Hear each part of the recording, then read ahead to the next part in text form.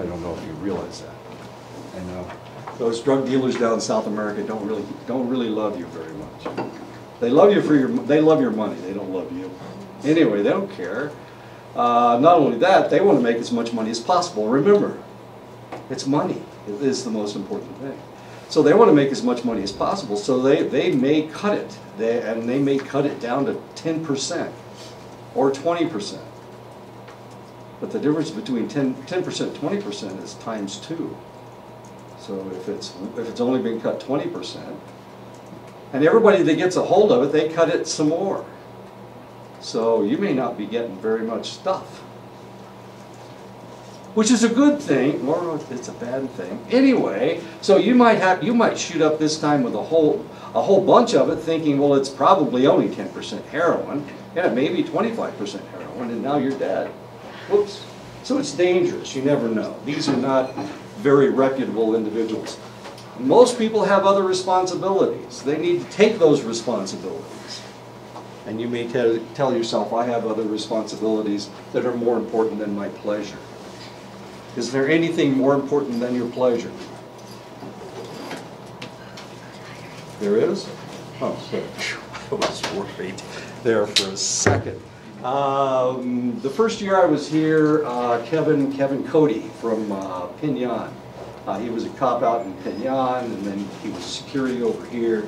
Uh, he came and talked to my this class, to the substance abuse class, and he was telling about telling us about uh, individuals who sold their children for crystal meth in Pinyon to get a hit. They sold their children for sex. They sold them. They just sold them. How important are your kids?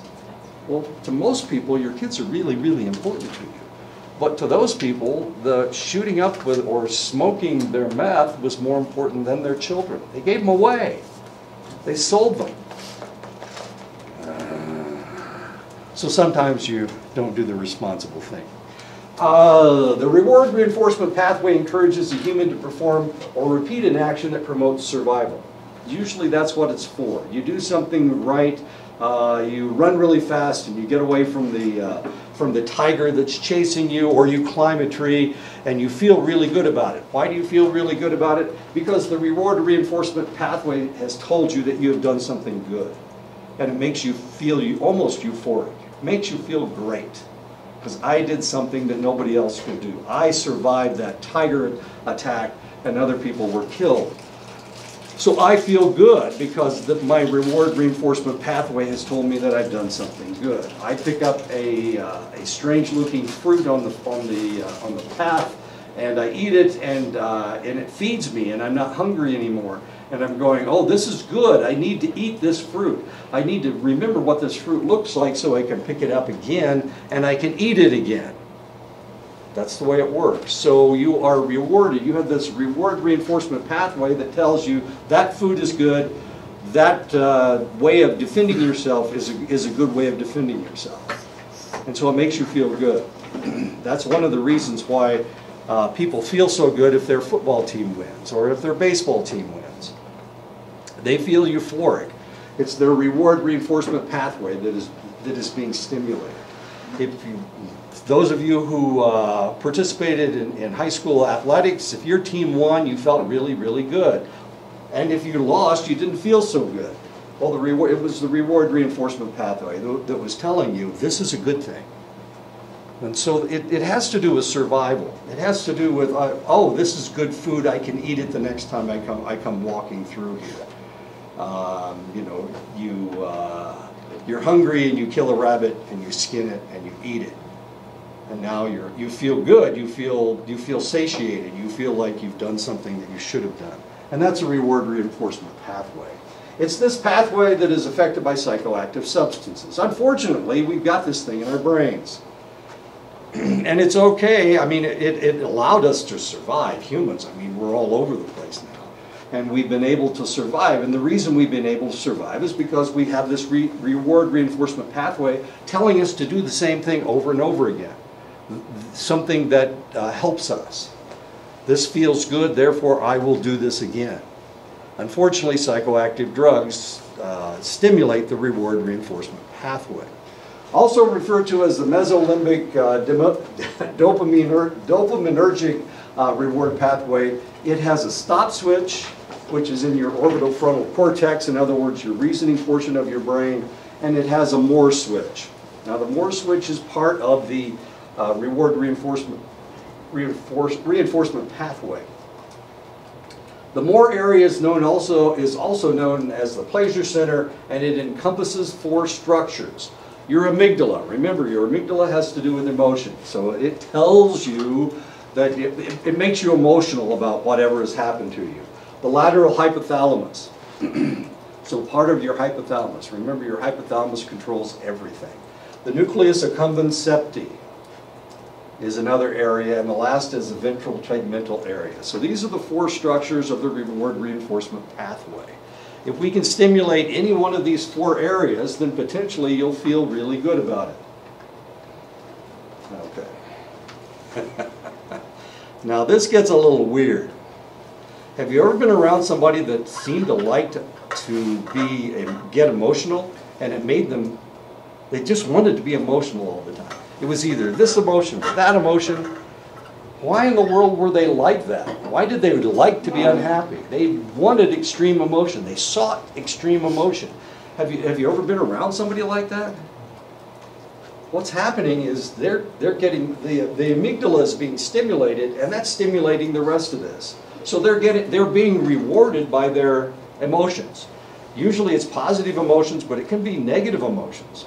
So you've got somebody that enjoys being depressed. They get a buzz out of being depressed, as strange as that sounds. And these people are out there. We run into them from time to time. Counselors run into them all the time. But usually they don't want to go see the counselor because they're getting, they're being rewarded by their negative emotions. So they don't want to change. They don't want to, they don't want that to go away because this is this is part of their whole reward uh, reinforcement uh, stimulation. As bizarre as that sounds, so um, these things can get screwed up. Yes, ma'am. Is that a is that um, would that be a situation where the person is in it all the time and they become that way, or is it genetic, or Somebody something has happened to them in their past where they got something for having negative emotions. Uh, they were rewarded for it. Uh, they got to stay home from school uh, because they were crying too much. So now all of a sudden, it has been, crying uh, has been rewarded. So the next time they cry in front of their parents, they get whatever they want. So now we've got, now we've got a control uh, issue taking place. So So as these person grow, as this person grows up, this is one of their techniques for making themselves feel better. It's like a trained behavior. It is a trained behavior, it's conditioned response. Yeah, but it, this is what's being stimulated. So they keep crying. And then they get married and, and this is what they use to uh, control their significant other, whether it's male or female, doesn't really matter. Or, I don't know. They're controlling their significant other. I know, isn't that fun? Uh, the pleasure center serves two purposes. It gives a feeling of satisfaction when a need is fulfilled or, or even the anticipation that a need will be fulfilled. All you need to do is feel like, okay, I'm going to get it right now. This is good. Okay, so it, it actually, just thinking that you're going to, to get whatever it is that you're looking for, oh man, I really love uh, Granny Smith apples, and I'm going to the store to buy me Granny Smith apples. Oh man, yeah, I feel really good about this. I can't wait to get to Walmart or Gallup and buy me some Granny Smith apples. Sometimes I drive all the way to Albuquerque to get me Granny Smith apples. Because the, the ones at Bashas' are crap. Are those the real ones or the green ones? Those are the green ones. But not just any green apple, it has to have, it have to, has to have those little white dots on it, which tells you that the skin is still attached to the, to the, the uh, pulp of the apple. Right? Okay. We know this. Now, I shouldn't have told you guys, now you're gonna go and buy all my Granny Smith apples, the ones white dots. Okay. Just thinking that you're going to get it makes you feel good. Here I am, I'm jumping up and down because I'm thinking of Granny Smith apples and I have two of them in my, my, for my lunch today. I got a confession. I had six hundred apples. I, see, I count those apples, damn it. I know exactly how many apples I got. That's all right. I was in, I was in uh, Iowa, wasn't I? No. Where was it? Where did I go? Thanksgiving break. Oh, it's Thanksgiving. I went to Florida. I was in Florida with my son, so. I got a call from my son last night. This is how it works with my son. He called me on the phone and I was still at work. So I talked to him for about 13 minutes. I said, I gotta go home. And I said, I'll call you back. And he said, fine. You, you can never get him back. He won't, he won't answer the phone. I don't know what else he wanted to talk about. Maybe he wanted to borrow money. That's okay. I got, five bucks in the mail yesterday. They sent me a new five dollar bill. Nielsen, I'm a Nielsen family, so they sent me five dollars. Now I got five free dollars. I don't know what to do with it. It doesn't feel like it's mine. You know, somebody gives you five dollars, it doesn't feel like it's yours. I feel like I should give it away or something. I was, I'll take it. I knew he would take it. Damn. Uh, you think I'm kidding? I re- it really doesn't feel like my, my money. It's not my money. They just gave it to me. I just got a surge from giving him five dollars. He's not going to keep it, so I'll put it back in my pocket. If I if I thought you'd keep it, I'd, I'd give it to you. Yeah, I'll take it. Okay. It's, like I said, it's not, it's not my money. They just gave it to me. It's a brand new five dollar bill. You should give us all five dollars. I don't have that much money. I only had one five dollar bill and I only had one that wasn't mine. That Well, you was- gave away one of your three, you have two more to give away. I don't have, I don't have any more. I have, I have one dollar bills. I have three one dollar bills. Oh Remember, I just bought that guy a new battery for his truck. But I get a, I get I'll a. frame it. Yeah, frame it. Just makes sense. Okay, so part, one of the things is that you, just the anticipation of getting something makes you feel good. It gives you a surge of relief or intense satisfaction when pain is diminished. And of course, if you've ever been in pain, uh, you, and you take a pill, uh, usually the pain will go away right away, even though you know that it takes 20 minutes for that painkiller to get into your system it still goes away right away. Psychoactive substances activate the pleasure circuit and rewards the individual with a feeling of satisfaction or pain relief. Unfortunately, psychoactive substances overactivate the pleasure center and shut down the stop switch, enabling the individual to feel an intense need to continue use. And this is what happens with gamblers. This is what happens with people who shoot up with heroin. They shoot up with heroin, and the next time is really soon. They feel like they need to do it again. Why do people shoot up with heroin? Heroin's a little different from other drugs. Does heroin make you feel good? Has anybody ever taken heroin? Do you know if it makes you feel good? yeah, right. There is a, a deal of euphoria to it, but actually it, it takes the pain away. That's all it does. It makes you forget. And sometimes it's the, it's the fact that you can't, you- you can't not think about this, and that's what the problem is. The problem is you, you keep repeating on this negative thought and you want it to go away. So that's why heroin users have a harder time, to- harder time quitting? Yeah, Because they're making bad thoughts go away. And maybe they've done something in their life they want to forget. And when they, when they use the heroin, it makes them forget. Uh, This, this was huge in the, in the rock industry. Uh, All those guys were, were shooting up with heroin. And they were shooting up with heroin because they were being given heroin. as stupid as that sounds. But people who take heroin, a lot of times, uh, it, it destroys your ability to do things. I mean, you can't, you- were a guitar player before now, all of a sudden you can't. You're not as good as you were before because of the heroin. So this is a, pro- this can be a problem. But if they really had something to forget, if they weren't doing it just for the euphoria, because it makes you feel like you're dead or like nothing matters anymore.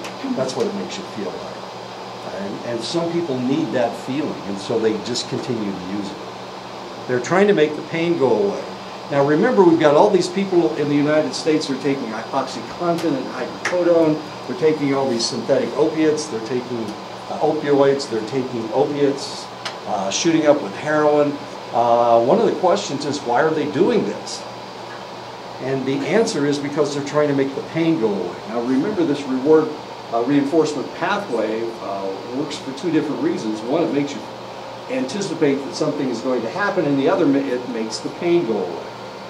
So that's why they're doing it. They're trying to make the pain go away. What pain do they have? And is that pain severe enough that they really need to take this stuff? And the answer, I mean, we've got kids that are finding it in their parents' uh, medicine cabinets, and they're using these opiates. What do they, what has happened to them in their life that they need to forget? Now, we can assume that there is something that they need to forget, but sometimes they just do it. And then they, they don't have anything to forget. So why do they continue to do it? Because it becomes an, uh, an addiction. So the opium becomes a, an addiction unto itself. There are three phases of brain activity with the re- reward reinforcement pathway. The anticipation of drug use or compulsive uh, behavior creates craving, of course. Uh, internal or external cues activate uh, the amygdala, which causes a release of dopamine from the ventral tegmental area, which in turn activates the nucleus accumbens, causing craving. Whew. So we have stimulated your reward reinforcement pathway just by thinking that you're going to get what you think you're going to get. Uh, for an alcoholic passing a bar, which is an external cue, it would activate the amygdala, causing a release of dopamine from the ventral tegmental area, which would activate the nucleus accumbens, causing a craving, craving for alcohol. All they have to do is pass the bar. This is a place where they've drunk before. And this is the way it works. This is one of the reasons why they tell you you have to change your lifestyle. If you, if you stay in the same place, if you stay with the same lifestyle, you're never going to stop drinking because just passing the bar gives you a buzz. It makes you think of drinking. So what do you have to do? You have to stay away from the bar. Don't go past the bar. If you have friends that every time you're around these guys, they make you, they force you to smoke marijuana, they invite you to smoke marijuana, so you do, then you have to stay away from those guys. Oh, shoot. I didn't do it. Okay, I, I touched that thing. Anyway, that's the way it works. You got to stay away from somebody. So is it like passing, walking past a, a Cinnabon? If you crave Cinnabon, yes, it's exactly like walking past a Cinnabon or smelling a Cinnabon. That's all, all you have to do is smell, right? Yeah. Okay. And you can actually taste the, uh, the, that stuff on top, the icing on top, right? Are you a Cinnabon addict? I just had one over the weekend. Oh, okay. How was it? Was it as good as you thought it was going to be, did it? Uh, I had a craving, I told, I told my class yesterday, I had a craving for chocolate cake. I haven't eaten a chocolate cake in probably five years. I had a craving for chocolate cake. So I went to Bashas' and bought me cake mix. As it turned out, I could have bought it out over at the gas station. But I went to Bashas' and bought cake mix. I made up, I made a cake, and I ate like, I don't know, like a quarter of it la- night before last, and I got sick. So last night, this is how stupid I am. so last night I had a huge piece of cake. It was probably an eighth of that of that cake, and I got sick again. So the question is, I've still got half the cake left. Am I going to eat any tonight? Is the question. Probably. Chris and I are, are addicted to, to, to foods. Will I eat it again, or will I try to give give it to Marius? Huh? he screwed up my, mis- you know, Did you make the cake? I made the cake. You Of course I made it? I see you baking. made it. He's got three boys, I could give him, I could give him my cake. Yeah, there you go. Maybe I'll try to pawn the cake off on Marius. That'll work. Then I won't eat it. There's two things that are going to happen, well, three things. I could eat the cake again. I could give it to Marius, or I could throw it away. Or you can sell it and get your five dollars back. It's not my five dollars. The cake didn't cost me five dollars anyway. The cake probably cost, I don't know, three bucks. I'm guessing, I don't know. I, I didn't even notice how expensive it Plus was. labor is two dollars. I'll sell it to Marius, how's that? No, I'll, I'll see if I can give it away. That's a good idea, I'll give it, I'll give my cake away to Marius. I'm not gonna eat it again, okay? It only takes two, you only have to hit me twice. The first time I go, "Did really, did that hurt? And the second time I go, yeah, that really hurt. Uh, I've only been drunk three times, it only took me three times to figure out that I didn't like it. So maybe this time I'll stop eating that damn cake. It's good cake, I mean, it tastes great, really moist. You should bake this one. I should bring it to you guys so you my cake. Good idea. Uh, the second phase of the reward reinforcement, pa- oh, wait a minute, I didn't even talk about this.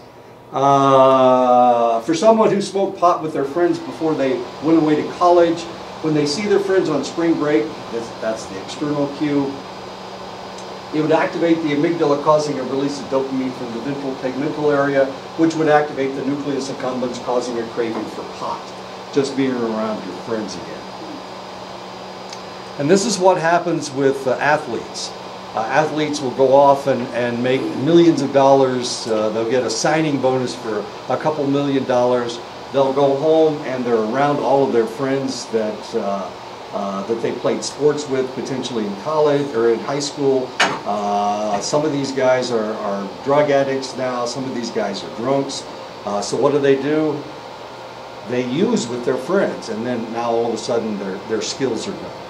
Uh, this happened to a guy by the name of Len Bias. He was the uh, best basketball player in, in the United States in 1979. So Len went home to Baltimore. Uh, he's, he was uh, he played for the University of Maryland. Went home to Baltimore, and uh, he snorted cocaine, and it killed him. His heart he had a heart attack and died. had he ever used uh, cocaine before? Well, they didn't know. They couldn't tell. I mean, everybody said, no, Len's never used cocaine before. But he used it with his friends, and now, and, and then he died. He died almost instantaneously. It arrests your heart. And he had a heart attack and died. This kind of stuff happens all the time. Darryl Strawberry, baseball player from back in the, in the 80s, uh, went, went home to Florida. He was from Florida, started using with his friends. His skills just tanked. Uh, a guy by the name of Dwight Gooden was he had the best year of baseball that anybody has ever seen. He won 28 games and he lost two. He was so unhittable. He only lost two games and he only lost those two games by by two runs. He lost each game by by a run. Um, he was unhittable. Nobody could touch him. He uh, went home and he visited one of his friends. His friend had um, uh, cocaine and he snorted cocaine, and the guy never he never broke even before. Uh, again, in, in his baseball career, he lost as many games as he won. He was hittable now. All of a sudden, it had it decreased his ability to play baseball that much, and so these kinds of things happen uh, to people all the time. All right.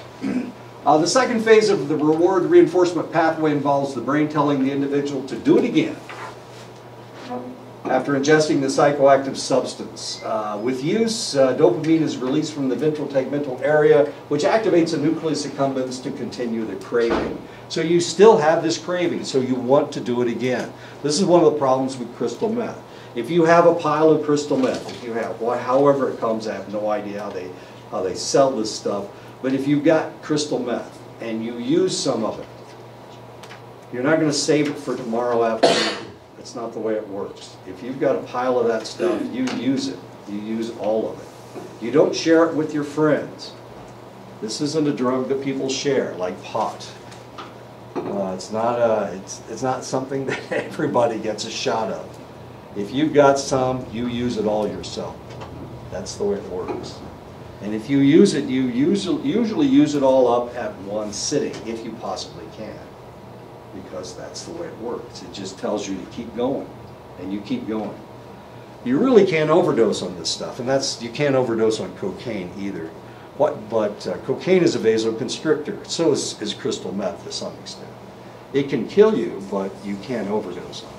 And for that reason, people thought that cocaine wasn't addictive, because it, it, you couldn't uh, overdose on it. But of course it is. Marijuana, you can't overdose on marijuana, you can't uh, overdose on LSD.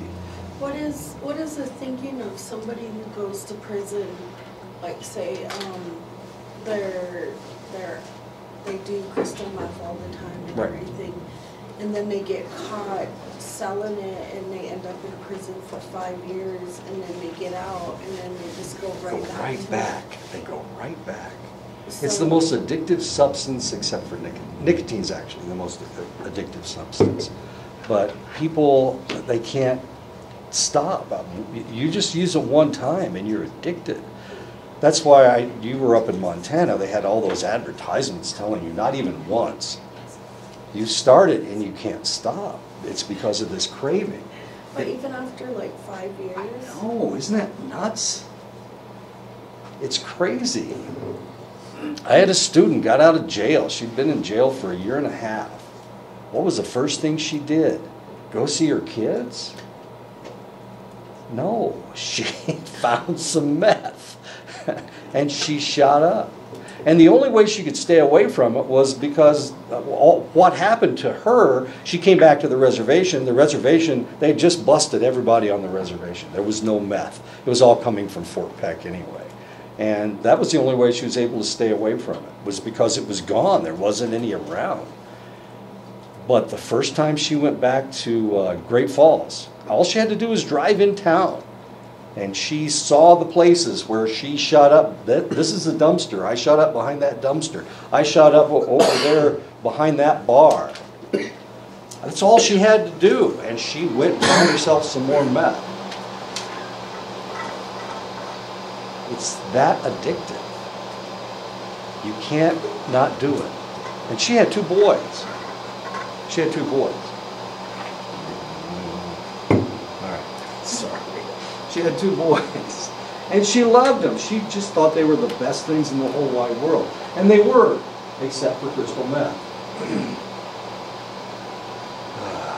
And it was worse than that because when she used crystal meth, she didn't have enough money to buy the stuff, so she would forge checks.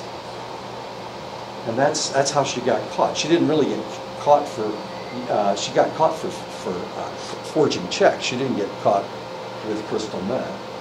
But she couldn't stay away from this stuff. And it gave her meth head. It gave her, oh God, they're so stupid. And they just are totally illogical, people on crystal meth. So the phase three of the uh, reward reinforcement pathway involves the nucleus accumbens signaling, signaling the or- orbital frontal cortex that it has taken in the substance and asks for a signal of more or satiation. Are you done? If, it, if it's crystal meth, this is the only word that, that uh, will come out of, of uh, your orbital frontal cortex. In addicts and abusers, the signal is weakened, as is the reasoning function of the uh, area, resulting in, in ingestion that does not lead to satiation. You will never feel satiated. They chase what they refer to as the dragon. It's the, the first time you use it, it makes you feel so good uh, that ever after that, er, you're trying to find, you're trying to catch the dragon, the dragon that you got on the first time that you uh, used this stuff. And you can never find it, you can never catch it again. But that's what they're looking for. They're looking for a memory of what it felt like. Psychoactive substances imprint the memory of euphoria or pain relief more deeply than most natural surviving, survival memories. Remember that apple that we, I was talking about before, or that piece of fruit that you found that tasted so good and it fed you? It doesn't imprint as, as strongly as an addictive substance. The alteration of the brain chemistry causes normal activities to be less pleasurable. And this is the problem with pot. Pot makes you feel really good. But when you're not smoking pot, you don't feel good. You don't you feel bad. It's the same way with alcohol. Alcohol makes you feel good if it makes you feel good. makes me depressed, but if, if it makes you feel good, when you're not drunk, then you're looking for an excuse to get drunk. So you become what they refer to as a dry drunk. You're really grouchy, and you start you start trying to get people to, to be angry with you, so you can you've got an excuse to go out and drink. And if you've ever been around an alcoholic, you see this happening all the time. They want to argue with people, and then they go, "Oh, that's all. I can't stand it anymore." Then they go out and get drunk. Gives them an excuse to get drunk. So this is one of the reasons why being around an alcoholic is so difficult because they're always trying to get you to to uh, uh, to do something so that they can use that as an excuse to get drunk. Um, and of course, if they can't get if they can't get you to do anything, then they may become abusive because they're really really grouchy. But then again, people that smoke pot are really grouchy when they're not stoned. They're not very happy. They're bored about everything. Not they're bored with it, anything. When they're smoking pot, they, they're interested in everything. Dude, my hand! Did you see my hand? That's so cool. But when they're not smoking pot, uh, nothing is interesting. They can play video games stoned all night long. But afterward, I mean, if they're not stoned, it's not nearly as much fun. Not nearly as much fun. They can't even play the video game. It's so boring now. Everything's boring. They're using that as an excuse to go out and get stoned again. All right. to a methamphetamine uh, addict, uh, the desire for drugs, for their drug, will be more important than her relationship with her children. And we've seen this over and over again. We saw this in Pinyon. But it's not just Pinyon. It's not just here on the reservation. It's everywhere. Anybody. They'll sell their kids. They'll sell themselves for, for, for another hit. Uh, they'll, and they'll sell their children, literally. They'll sell their children. They'll let their children die. Um, situation on uh, not uh, Fort Belknap, but uh, Rocky Boy, Rocky Boy Reservation. Um, they would have meth parties. Uh, and you think meth parties, wait a minute, I, I just told you that if I, if I have a stash of meth, that I use it all up. Well, yeah, that's true, but uh, this is a good way to sell meth, is to invite people in. And so you can sell your meth and then you can buy more. And these house parties will last for days because as long as you're, they're giving you money, you're going out and getting more meth and now you can have, you have more meth to sell more to more people and you got just cars running in and running out. I mean, it's crazy stuff. Um, one of my students had a, a sister with two, two kids. One of the kids was, uh, was a baby, it was like nine months old, and the other was an 18 year old, 18 month old uh, boy. And she had a house party, and the house party started on Thursday night, and it lasted until Sunday, sometime on Sunday. And during that time, they had people running in and out and in and out. During that time, there was no food in the house, of course. Nobody's interested in food. There was no food in the house, uh, so the, the kids were, were consuming what was there. Luckily, they weren't consuming meth, they were consuming the beer, the wine, anything in a glass. Sometimes there were ice cubes, so they got a little bit of water. Uh, so here's these kids, they're starving to death. That's not the worst part. The worst part is both of them were molested during the house party. And nobody knew. And of course, she was in the back room with her boyfriend or whatever, doing whatever they were doing, but the kids were molested during the, the, the house party. And of course, took him to the hospital, they checked them, and they both had, they both had gonorrhea. And they both come down with, with, anyway, they've both been infected with gonorrhea. And this is the kind of stuff that happens to people. Now, why in the world didn't she care about her children enough to, for one, to feed them, but two, to take care of them, make sure that they were okay? and the answer is that at some point during that, that house party, she had actually sold the little boy to somebody for more money or for more meth. So they took the babies away from her. They took the kids away from her and they gave them to the grandparents. So what did the grandparents do? They gave them right back to her. Exactly. And of course, she swore she'd never do this again until, you know, the next month. Anyway, happened again. And this time, they, they didn't give them to the grandparents. They gave them to the daughter. They gave them to my student. And she was so angry at this lady that she didn't do anything. Anyway, or she didn't let her have her, have their, her kids back until her parents nagged her enough that she gave the kids back to her, to her, her sister. And then, of course, it happened again. But this is the kind of crap that happens. Crystal meth makes you stupid, okay? It makes you not very smart. It's so addictive that you'll, you don't even care about your kids. So that's just a hint and a warning. Uh, to compulsive gamblers, uh, gambling will become more important to them than food or sex. And we see this. Gamblers will sit there, and one thing that they will do is they'll feed them uh, booze. They'll, they'll let them have booze, uh, but of course you can't have food at the gambling. And they'll sit there. They'll sit there for days, staying awake. And how do they stay awake? Well, you know, but if, if they were on their honeymoon, well, here's here's a bride playing on the slot machine. Uh, you know, that's sex isn't important to them. The gambling is, is a better high than uh, than sex. Psychoactive substances tend to affect the, the physiological functioning of the body, uh, especially the heart rate and the respiration, especially opioids. It is the effect on the respiration that causes most drug overdose emergencies and death, and of course, it's usually the opioids that kill you. But it can also be cocaine, which stimulates your heart to the extent that your heart starts racing and uh, you have a negative reaction from the uh, racing heart. If you have any problems with your heart, don't don't use cocaine. You know that uh, you, you you may have a negative reaction, and it may kill you. It can kill you. All of this stuff can kill you. Not pot, not LSD. Psychedelics like LSD, marijuana, and the rave drugs uh, not only affect the old brain, but the new brain as well. Usually this is all taking place in your brain stem, it's all taking place in your limbic system, and you really have no, have very little control over it. Uh, your emotional reaction, of course, you can, you can uh, reason and control your emotions. Uh, this is what I was watching a, a war movie. I was watching it last night. Uh, Battleground, if you've ever seen the movie, it's made in 1949. It's about the Battle of the Bulge. Uh, but uh, they were under attack, and they were not on, only under uh, small arms fire, but they were also under artillery fire.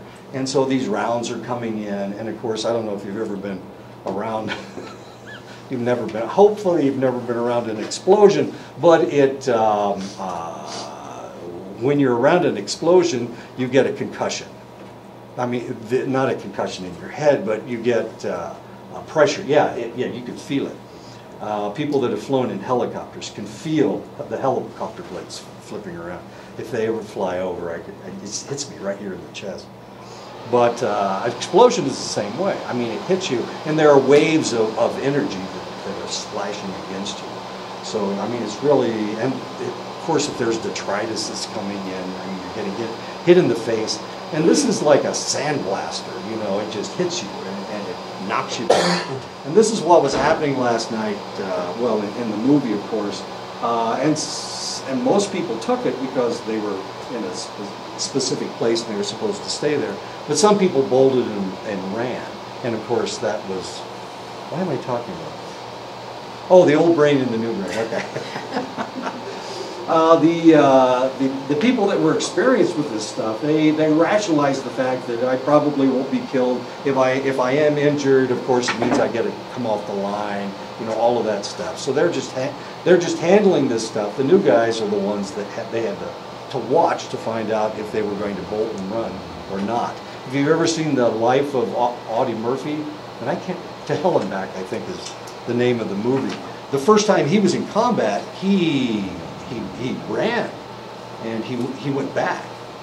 Uh, Audie Murphy was the most decorated uh, military individual that we've ever had in the military. Uh, he won the Congressional Medal of Honor, he won the uh, you know, Silver Star with oak leaf clusters, which means he won it more than once. Uh, this was a very, very brave man, but the first time he was in combat, of course, he, uh, it scared him and he ran away. But after that, he didn't. Uh, these drugs especially affect memory as they activate two areas of the brain that help to control memories, the amygdala and the hippocampus. Um, and that's one of the reasons why you can't remember anything when you smoke pot. Uh, it uh, disrupts your short-term memory. If you don't have short-term memories, you can't possibly put it in long-term memory. So, and rave drugs are, are the same way. LSD uh, is the opposite. You remember everything from your trip, as exciting as that is. To the extent that if you start thinking about your trip, uh, and you think about this portion of your trip, sometimes you'll have a flashback and you'll start your trip right there, where, what the, the part that you remembered, and you'll run it all the way through to the end. It's kind of like a movie. Turn on a movie and you know you're you're 30 minutes into the movie and then you just watch the rest of it. Well, LSD is kind of the same way. Sometimes you'll think about what happened during your trip and then it'll just play the rest of the way out. And there's nothing you can do about it. You can't not trip. You're, you're at that point you're having a flashback. I have a question. Yes. So how come like, um, some people say they, they smoke pot and they do their homework and they, they say they have better outcomes at like tests? Really? That's probably, I wouldn't study and, uh, and do my, uh, and smoke pot at the same time. You won't remember anything. It, it disrupts your short-term memory. Yeah. So I- maybe they get stoned um, when they do They can concentrate, exam? maybe that's it, they can concentrate. They can focus on something better. Okay, I'm sorry. Maybe they get stoned when they do their exam because um, one of the classes, I think it was you, you were saying, like whatever you're doing when you're studying, Right. um, if you can like get that same kind of vibe or framework or whatever you were doing, then when you come to your exam and you're doing the same thing, then you remember everything. Yeah, I had a, a student that would play music while he was studying, and then all he needed to do was replay that music in his mind, and he remembered everything that he studied. So, yeah, you can do that. Connect the two pieces of information. I guess that works. I wouldn't, I don't know if I'd try it. I don't know if I'd try putting earbuds in my ears while you were taking a test, because somebody will think you're listening to the answers. Or, I don't know. I don't know how they cheat anymore. I'm, I'm sure they do a, a very good job. I have no clue. As people age from childhood to adolescence to adulthood, they learn to integrate the drives of the old brain with the reasoning and common sense of the new brain. If you're around a two-year-old or a three-year-old, they're not very logical. Uh, but as they get older, their, their new brain uh, overtakes their old brain. A lot of times they just want, want, want. They want this, they want that. Uh, and they can and you can't convince them that, that uh, they can't have it. Uh, but as they get older, of course, they, they, their, their reasoning portion becomes more, becomes stronger.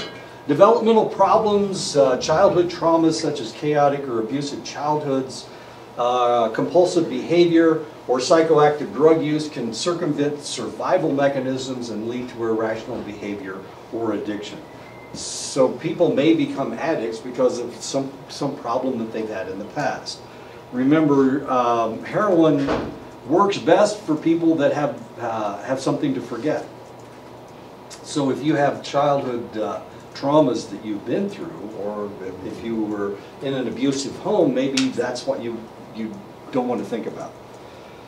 So maybe that's why you use, uh, you use drugs, to, to not think about that stuff. But actually, the best way to deal with that kind of a problem is to deal with that kind of a problem, is to talk about it, to get it out.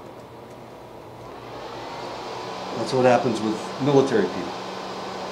They talk about, the, they, if they need to find somebody that they can talk to about what they went through. And then uh, the more they talk about it, the more, the more their, their brain rationalizes what happened. Not rationalizes, that's not the right word. Um, deals with, uh, with what has happened to them. And then, of course, now they don't have a problem anymore. Now they can, they can think about it without, without it hurting them so much. The most important structure of the re- reward reinforcement pathway is the nucleus accumbens septi. Uh, This bundle of nerves is the most powerful reinforcer in the pathway. It's right here, of course. It's a tiny little bundle of nerves. It is this area of the brain that drives people to action. Uh, Research with rats stimulating this area of the brain led to death. Uh, They could not, they could do, could do nothing else but stimulate this area. And of course, they, they refer to it as the pleasure center. Uh, stimulating it makes you feel good. It makes you feel good, so you do it over and over and over again. Uh, of course, we haven't actually killed any humans stimulating this area of the brain. But what we have found is that if you can stimulate that area of your brain, you won't stop until they force you to stop. We don't let people stimulate themselves to death. Uh, social factors tend to, I don't think so. Social factors tend to affect the obse- obsession to use a psychoactive substance. The psychoactive substance alters the brain chemistry to make the individual want to use. This is one reason why only complete abstinence will stop the craving. You can never go back. And this is what happened to uh, the guy that just died, the funny guy, Robin Williams. Robin Williams. Robin Williams was a cocaine addict, and he got clean. And he's, as long as he stayed away from cocaine, he was okay.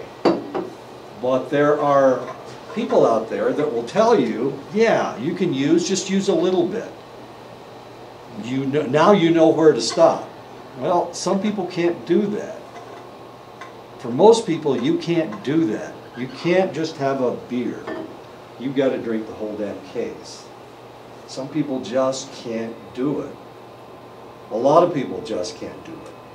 Once you start that loop uh, again, it, it kicks in. And just before he died, uh, just before he committed suicide, he went back to rehab. Not because he was using, because he'd used one time, and he went back. And he, they call it a refresher. So he went back for a refresher. And when he came back, when he came out of rehab, that's when he committed suicide. Robin Williams. Robin Williams. Robin Williams hung himself, he strangled himself to death by putting, by looping a belt over a door and pressing until he went unconscious. Pressing down until he went unconscious. He consciously knocked himself out. And once he did, of course, the weight of his body strangled him, strangled him to death. But he was not in, he didn't hang himself. He, his feet were on the ground. He pressed until he, he, he uh, became unconscious. And then after that, of course, he's unconscious with the belt push, pushing against his neck. And he strangled himself to death. That's how he killed himself. It was a very conscious way to kill yourself. As interesting as that is, but at the same time, if you do that, then sometimes when you uh, become unconscious, you roll away from your, your throat and you don't kill yourself. So he, he had, he had a, a 20-80 chance to, to kill himself. 80-20 chance to kill himself. And he did, he killed himself. I know, this sounds really weird. Anyway. It's the stuff you get to deal with when you work in the emergency room. Fun stuff. It's like shooting yourself in the chest. You're gonna hit your heart or you're not gonna hit your heart. Some people do it and they miss. It's right here. I mean, it's only the size of your fist. Yeah, just to, le- to the left of your sternum, you know. you Press the barrel of, of the gun against your, your chest and you pull the trigger. Well, sometimes you miss. I mean, it's possible. Not every, you can't, you don't know where your heart is exactly. And some people's heart is closer to their sternum anyway. Maybe your heart is over here instead of over here. I know. It's weird, isn't it? Or they'll shoot themselves in the head. You know, if you shoot yourself through the mouth and you shoot straight up, then you'll probably kill yourself. But if you're off to the right a little bit, you know, you're not dead. Okay, that's the way it works. Sorry. We won't talk about this stuff anymore.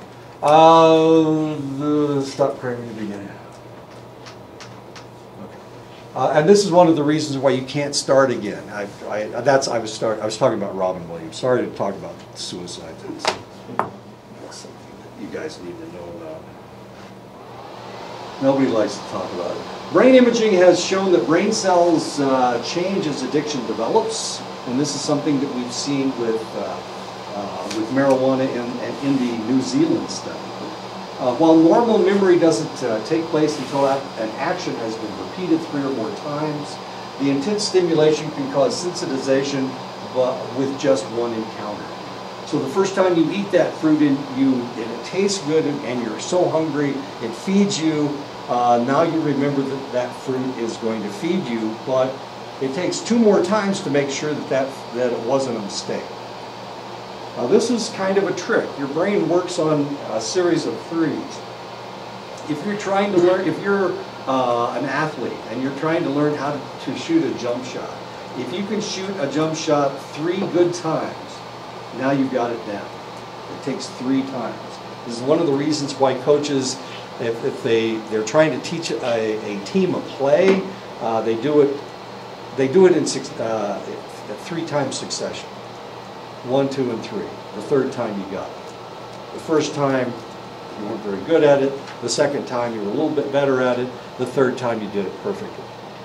So if you do anything in threes, and this is uh, uh, why they tell you to read your material. When I was in the mili- military, they told us what they were going to tell us. They told us what they said they were going to tell us, and then they told us what they told us. And this is so that you would learn it. Now, I, I always learned it the first time they told me. I didn't need them to repeat it two more times, but they always do anyway. They repeat everything two, two more times. Anyway, so if you do anything in threes, then probably you've got it. This is one of the reasons why they tell you to read your material, listen to the lecture, and then go over your material. You've, you've uh, consumed that material three times, and as long as you, you do anything three times, it's stuck in your long-term memory, and it won't go away. These neural pathways are highly sensitive and may cause relapse in just one uh, additional encounter, and of course, that's one of the reasons why you should never go back. You can never use it again. You can never take another drink. You can never shoot up with heroin one time. I'm just going to do it once. That doesn't exist. You're, you will continue to do it. I'm, uh, I'm only going to smoke pot this one time. I'll never do it again. Yes, you will. You can never stop. Uh, why do psychoactive uh, drugs disrupt the uh, uh, on-off switches of the reward reinforcement pathway? We're not exactly sure. One theory is that since the, they don't uh, originate from an essential body need, the brain has no satiation point established for psychoactive substances. How much alcohol is the right amount of alcohol? Does anybody have a clue how much that is? Well, it has to do with your tolerance level, for one thing. Uh, I think I told you that uh, I had a drinking contest with my uh, first wife, sec- second wife, I'm sorry. I can't remember which wife I'm talking. With my second wife, and I won. I know. I won. She was tanking on me. She she was an alcoholic, and I didn't know that. And she was pretending that two beers was so much that she was drunk. She was she was tanking. Her nickname, which I found out later, was the Jack Daniels Kid. She drank whiskey. So when she drank those two beers, she acted really goofy and started acting really strange. But uh, so I thought I won the contest, and you know we we talked about that for, and then eventually we got married. But when she took off, she took off because she wanted to go go out and drink again. She was using me not to drink because I didn't drink. I'm, I'm a really bad drinker and I don't believe in any of the psychoactive stuff. So she was using me as a, as a buffer between her her and her addiction. And it, it finally, after about five months of marriage, that was as much as she could handle as far as her addiction was concerned. And she left. She loved my kids. She said she loved me. I don't know. She's crazy about my kids. she she, and she never came back. She never came back. She left and she was gone. She just disappeared. And this is in the military. You can't disappear in the military. You have to go to work every day. That's not the way it works. You can't just wander off someplace. That's known as AWOL. She was, and she left. She had she had uh, an assignment someplace else that I didn't know about. Nobody told me about it until she was gone. Was she a double agent? I think so. she was a dental tech. I mean, what kind of information could she have? A second theory is that the on-off switch gets stuck on the on position. Uh, the person doesn't realize that the act has been completed. The person will use until they run out of the drug or they pass out. And of course, that happens a lot with alcohol. You see people passed out from drinking alcohol all the time. Well, you would think, I mean, geez, how often do you have to urinate? You should be able to know. I've never, I've never passed out drunk. I'm not a very good drinker.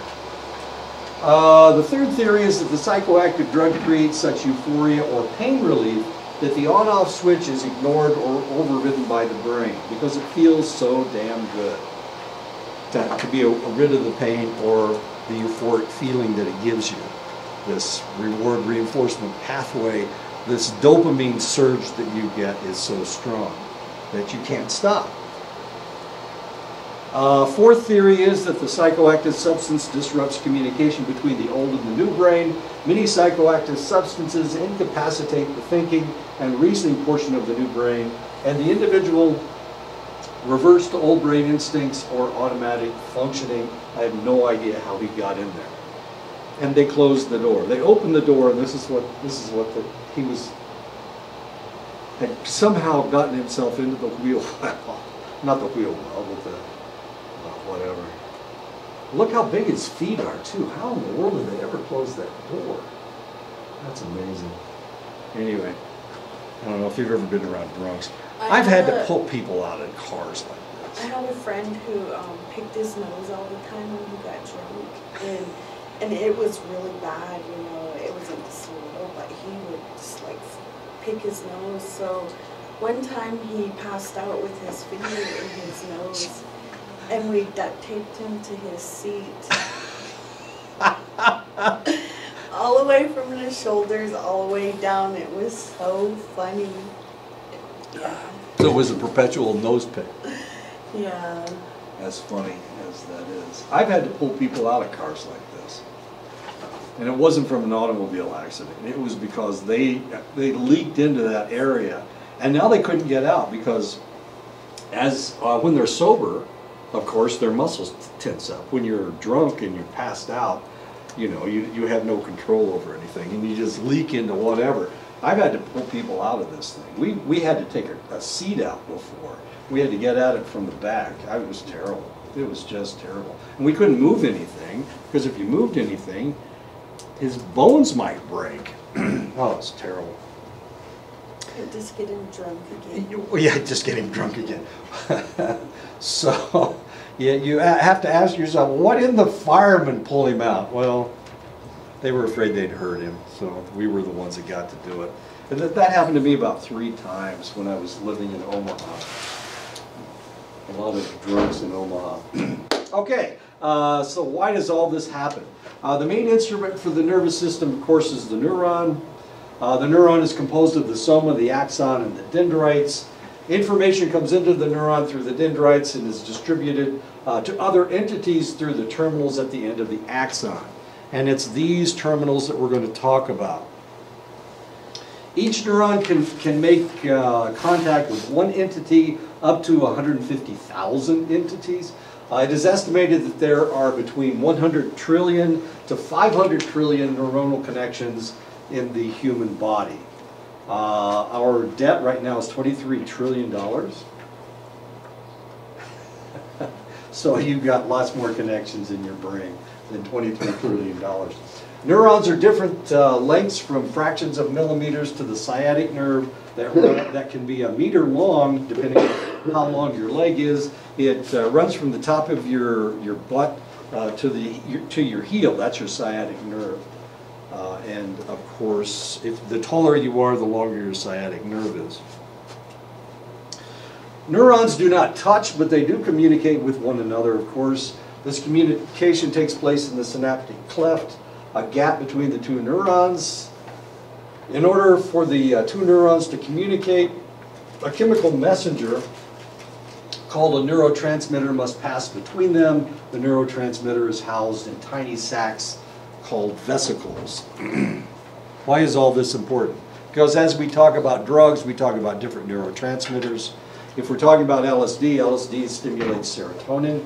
Uh, ecstasy uh, stimulates uh, serotonin. Uh, marijuana stimulates the anandamide receptor sites. Uh, opiates work on the uh, endorphin receptor sites. So th that's one of the reasons why all of this is quite important. Uh, acetylcholine, uh, the neurotransmitter that activates your muscles. It also works as a vasodilator. Uh, it controls mental acuity, memory, and learning. Acetylcholine is extremely important. Uh, it decreases with age uh, and it causes rapid dementia referred to as Alzheimer's disease. Uh, they have done studies and they have determined that if you make it to 80 or to 80 years old, that potentially you have Alzheimer's disease. Uh, why, so why in the world haven't we noticed this before? Because hardly anybody made it to, to 80 years old. And the ones that did, uh, that developed Alzheimer's disease, we, we assumed it was some form of dementia. We didn't even know what Alzheimer's disease was. But now, of course, uh, we are able to uh, look into the brain. Of course, this is after, after they die, post-mortem. Uh, we can look at the brain, we can determine how much damage they, they, they have. Uh, my mother lived to be 98 years old, fairly lucid. She was doing crossword puzzles uh, until about uh, two weeks before she died. Then she just, well, she always did the morning puzzles. She got to the point where she couldn't, you couldn't tell what letter she was making.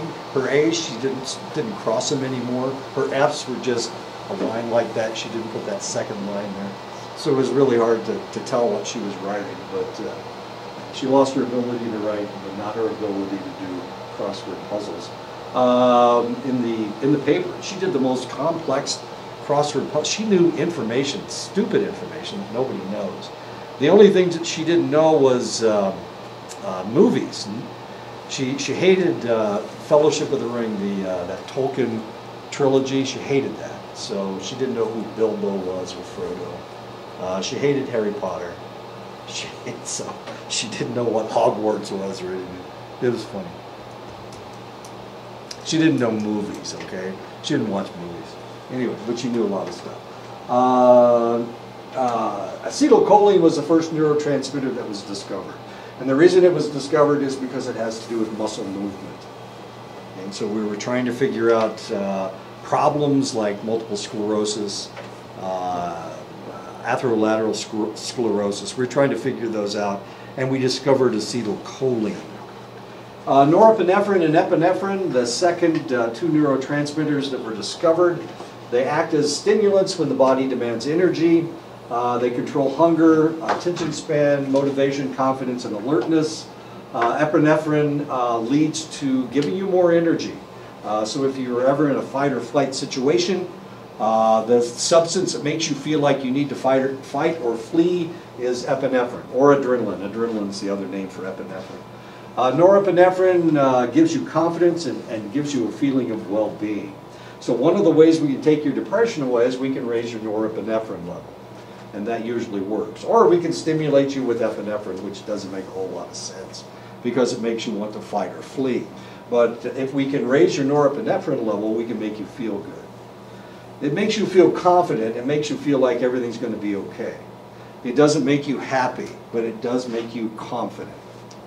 So if we, if we can raise your norepinephrine level, we can uh, uh, make you feel good. Uh, dopamine uh, regulates fine motor muscular activity, emotional stability, satiation. Uh, it's, of course, part of the reward reinforcement pathway. Uh, if you smoke cigarettes, if you've ever smoked a cigarette, you took that puff, it made you feel pretty good. the reason you felt good was because it was, in, it was increasing your dopamine level you get a dopamine spike. Now, one of the interesting things about tobacco, of course, uh, pipes, uh, you get a, a pretty good surge of dopamine. Cigars, you get a pretty good surge of dopamine. Uh, but cigarettes, you get even more of a surge of dopamine. And the reason is because you can take, uh, cigarette smoke is milder than, than other types of tobacco, and you pull it down into your lungs. And for that reason, people get a, a pretty good buzz off of cigarettes. Uh, the other thing that we need to talk, oh, chewing tobacco. Chewing tobacco and uh, snuff, uh, you have a constant level of dopamine. So instead of getting a, a, a, a spike, a dopamine spike from puffing on your, on your cigarette, uh, it's, it's a constant, it's a constant high.